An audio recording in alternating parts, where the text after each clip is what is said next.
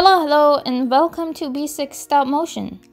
Have you ever had a project on Dragonframe and only wanted to play a few frames, but Dragonframe kept replaying the entire video for you? Today's tutorial is an easy tip to only choose a few frames to replay in Dragonframe.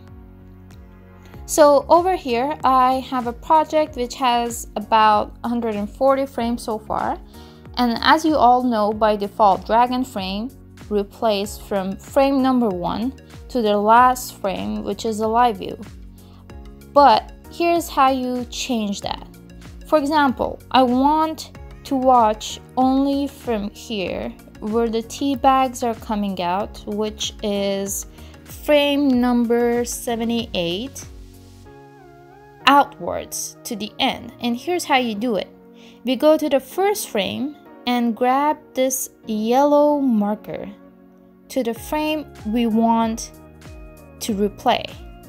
Now, if I hit play on my keyboard, it is going to play from frame number 78 to the live view. If you want to select an end frame for replaying also, you can do that too. Same thing, now we need to go to the last frame and grab this end yellow marker and place it here, for example, before um, the tea bag starts spinning around, which is frame 95.